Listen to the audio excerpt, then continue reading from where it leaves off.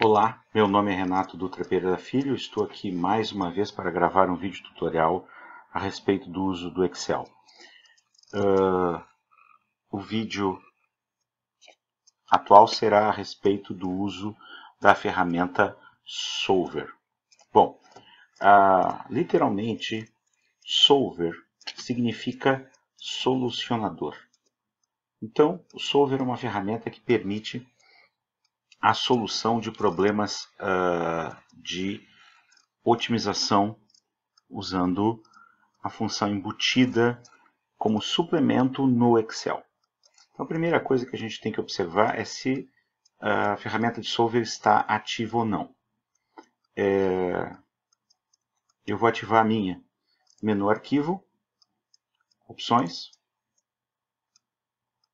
Suplementos, suplementos do Excel, ir e habilitar Solver. Basta dar OK.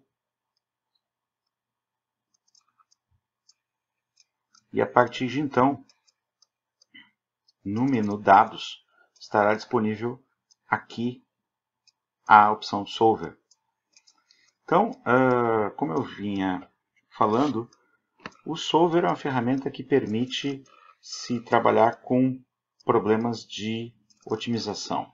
Então, a otimização matemática ela é um campo uh, muito interessante e ela necessariamente uh, exige que haja uma função a ser otimizada.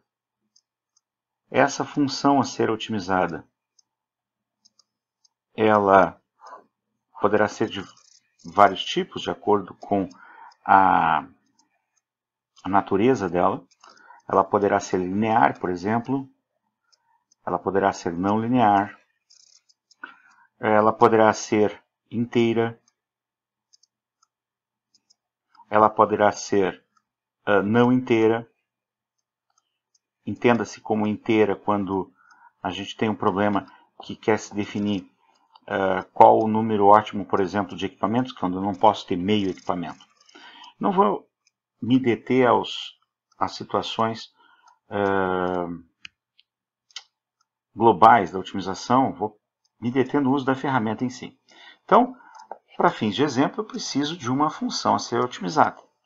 Então, eu pensei em usar uma, uma função que é muito comum de ser usada como uh, benchmark para teste, que é a função de Rosenbrock. A função de Rosenbrock, ela é um problema bastante interessante. Se nós observarmos a função no espaço tridimensional, é, a gente observa que aqui na região de mínimo ela é bastante flat. Isso implica que ela, dependendo do método de otimização, otimização ela representa uma dificuldade, por isso ela é usada como uh, função de benchmark para otimização. Então, a equação em si é assim: z como f de x, y, eu vou usar como z, aqui, ó, igual.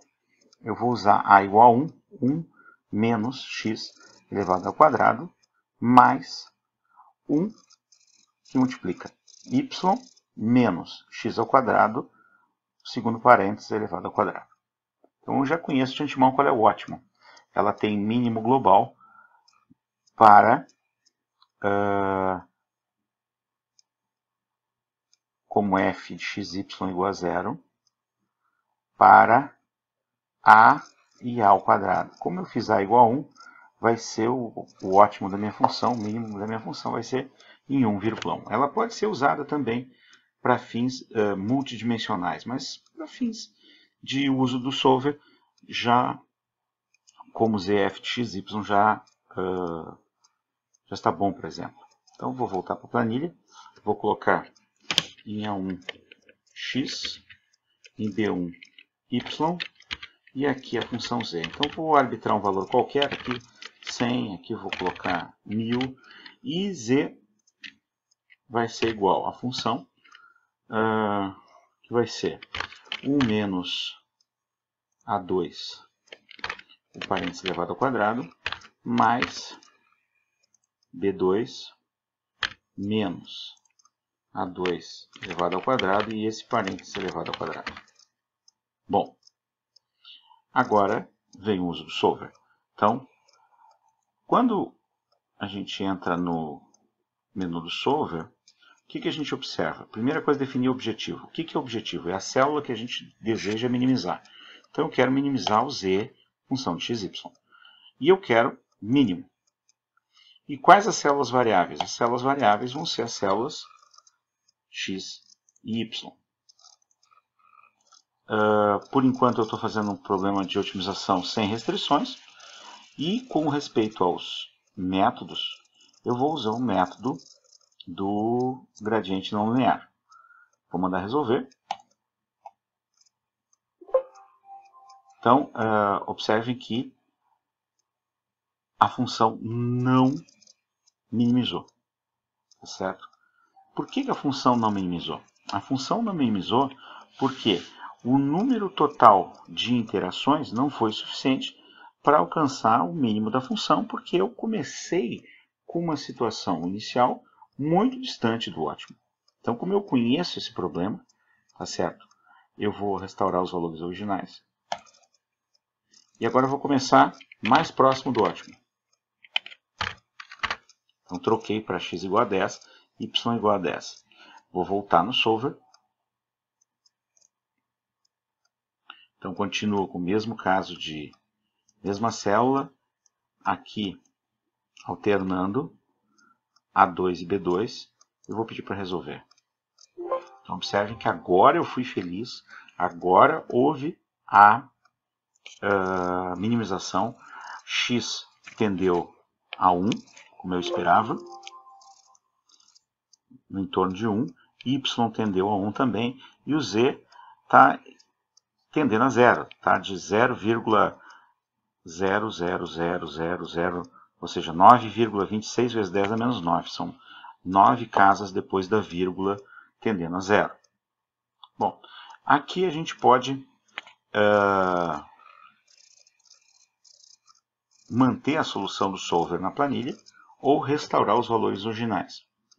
Bom, uma das coisas, eu vou manter a solução solver. Uma das coisas que pode chamar a atenção das pessoas uh, é a questão de o que, que é o suplemento. O suplemento, na realidade, é uma biblioteca que foi adicionada ao Excel. Então, na realidade, a, o suplemento do Solver não foi uh, desenvolvido pela Microsoft a priori, foi desenvolvido por uma empresa chamada Frontline Solvers.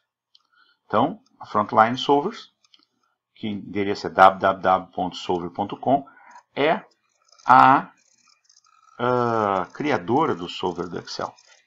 Então, uma das coisas que a gente tem que ter em mente é que, dependendo do tamanho de otimização que se deseja resolver, necessariamente uh, a gente pode ter variáveis demais para o suplemento a ser usado no solver do Excel. Então, talvez a gente precise usar um solver com suporte a mais variáveis. Então, observe que é, o próprio site da empresa Frontline coloca quais são as opções, normalmente quando que se usa o solver. Né? Uh, quando a gente tem problemas que tem um modelo matemático, e esse modelo matemático tem um número muito grande de variáveis envolvidas, e uh, existe uma variável resposta, que se deseja otimizá-la. Então, esse tipo de problema pode vir, por exemplo, da área de finanças de investimento, da área de manufatura, da questão de logística, roteamento e uh, a ferramenta de simulação permite, ah, desculpa, a ferramenta de, de, otimização através do solver permite que vários cenários sejam uh, solucionados configurando um, um grande é, uma grande amostragem de conjuntos de situações. Então, o uso desse tipo de ferramenta é, permite que, a partir da disponibilidade de um modelo matemático, seja é, várias soluções e como necessariamente a gente não tem acesso ao código do solver, essa ferramenta é uma ferramenta que a gente chama de ferramenta caixa preta. Então, vou voltar para o Excel só para mostrar isso. Uh, quando a gente olha,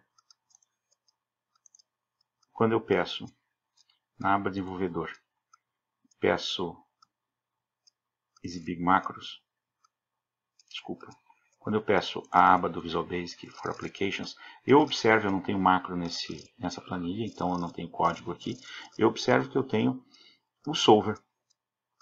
Então se eu clicar aqui, a priori deveria abrir a opção de eu ver o código. Mas eu não vejo o código, por quê? Porque ele está protegido por senha. Então, vou cancelar aqui. Ó. Deixa eu fechar. Então, uh, voltando a falar da questão do solver, quais são os tipos de, de solução? O método solução usados são o método gradiente uh, não linear, o método linear simplex, usado para solução de problemas simplex. Simplex é um método uh, usado para solução de modelos lineares e o método solução evolucionário. O método solução evolucionário estaria associado ao uso de algoritmos genéticos, por exemplo. Então, dentro das opções, a gente tem a possibilidade de, medir, de alterar a precisão da restrição, uh, mostrar o resultado de interações. Com respeito ao gradiente não linear, a gente pode escolher o limite de convergência, e aqui tem mais algumas opções. E no evolucionário a gente tem a, a possibilidade de alterar alguns parâmetros associados com a taxa de mutação, o tamanho da população e assim por diante associados ao método de otimização baseado em algoritmos genéticos. Então, é, observem que as opções uh, iniciais são opções que podem ser trocadas de parâmetros para uso do método solução solver para fins de tentar resolver problemas que, de difícil convergência, de difícil uh, determinação do ótimo matemático. Então, era isso. Eu vou salvar essa planilha na nuvem, como eu tenho feito, os, os exemplos estão disponíveis no rdpf.wordpress.com. Exemplo 8, tutorial vídeo de Excel em vídeo. Eu salvando.